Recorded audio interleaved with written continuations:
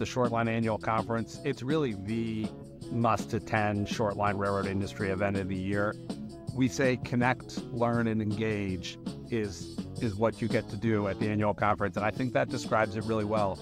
Connect with over 1,500 people who are there. It's everybody from owners down to craft folks. To me, it's an incredibly efficient and productive way to spend three days connecting with all those folks. If you touch the short line industry, this annual conference has something for you. A huge benefit of conferences is the learning you're doing from your peers. And a lot of that's in the hallway, exchanging business cards, making connections. These are people that you're going to get to go to for years, for the rest of your career, to, to share best practices, to bounce ideas off of, to share tricky issues.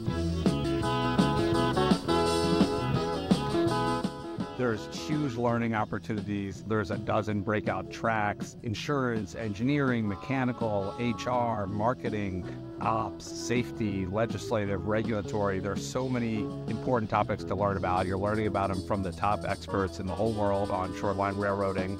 And it's a real treat, frankly, and a huge benefit to be able to come to an event like this and spend a couple days absorbing the bigger picture and thinking about the, the context of what you're doing and how it fits into the whole apparatus of uh, the U.S. freight rail industry. And then you add on to all of that, it's fun. If you're serious about your career in the shortline space, if you're serious about your company's role in the shortline space, it's really a can't miss event.